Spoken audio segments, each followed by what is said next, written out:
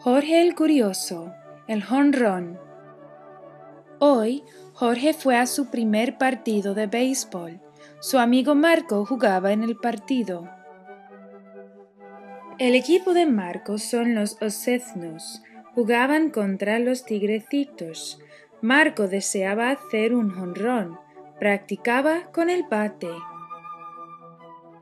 Oh, oh, el tanteador estaba enfermo.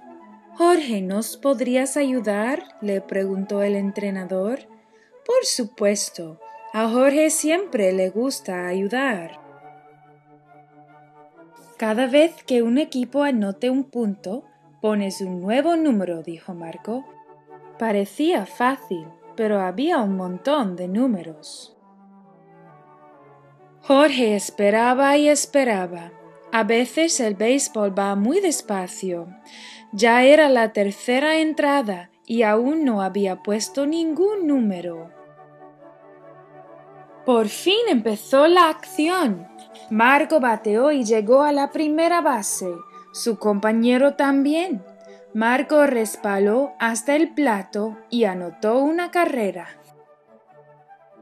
Ahora Jorge podía poner un número en el marcador. Sacó el número 5 de la caja y lo puso. Ese número está mal, dijo Marco. Jorge sacó otro número de la caja. Puso el número 8. Pon un número más bajo. Debes poner los números en orden, le dijo Marco. ¿En orden? ¿Qué significa eso? Jorge sintió curiosidad. Marco le mostró a Jorge cómo poner los números en orden. Así. 1, 2, 3, 4, 5, 6, 7, 8, 9 y 10. Ahora prueba tú, le explicó Marco. Jorge practicó cómo poner los números en orden. Funcionó. Contó los puntos hasta que el partido empató 4 a 4. Jorge escuchó mucho ruido que venía del kiosco. Quizás podría ayudar a servir refrigerios. Jorge sirvió el pedido número 17, después el 14. Un momento, dijo un cliente. El número 14 está antes que el 17.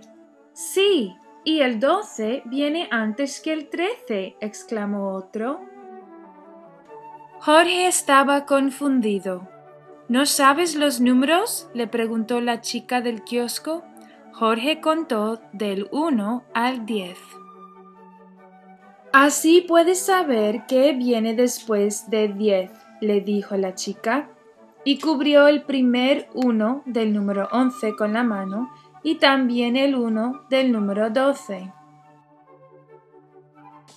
Ahora Jorge sabía que el once viene antes que el doce, igual que el uno viene antes que el dos, y les dio a los clientes sus refrigerios en orden.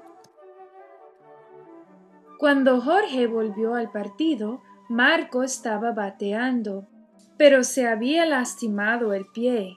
Jorge llegaría a las bases por Marco. Si Marco lograba tres strikes, conseguiría un out. Primer strike, segundo strike. Crack. Marco bateó muy fuerte la pelota. Jorge tuvo que correr muy rápido.